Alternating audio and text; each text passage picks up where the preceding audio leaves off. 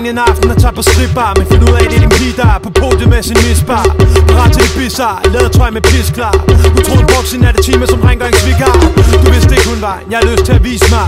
Og så er du pludselig ikke så meget lyst til at blive der.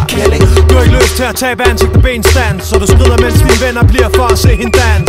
Du vil ikke vide mere, skrider mens dine venner vil vide Hvad du ser på de senglaner, om din kælling virkelig er det værd. Kan hun rydde, slutte videre, gør det på tid. Og det værste er, du ikke ved, din kælling, hun er gravid to Kælling Skal komme en ting så Kælling Så nu bliver du uh, Fandt dig en stripklub uh. Kælling to Kælling Skal komme en ting så Kælling Så nu bliver du uh, Fandt dig en stripklub uh. Du kommer hjem af din kælling Ligger din seng Men sammen med dine venner For lem i hendes stramme Hvad gør du nu? Kælling. Hvor går du hen? Kælling. Hvilke konsekvenser skal det have for dem?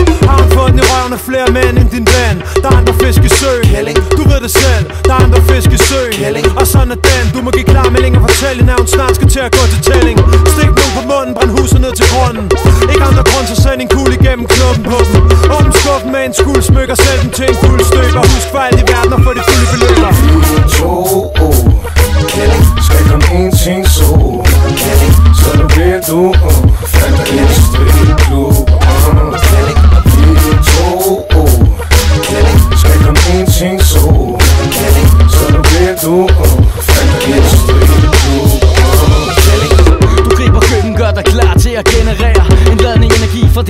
til din pegefinger Men kan du gennemføre?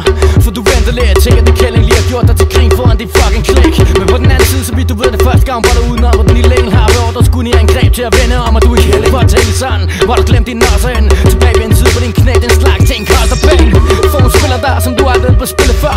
Se men ikke rør, når du før kun skulle se gennem et billedrør Så nu skrænter det. Så du tænker nu, at jeg er en kælling Der skulle jeg skynde med mig tvinge så i længere nu. Men kræfter slipper op,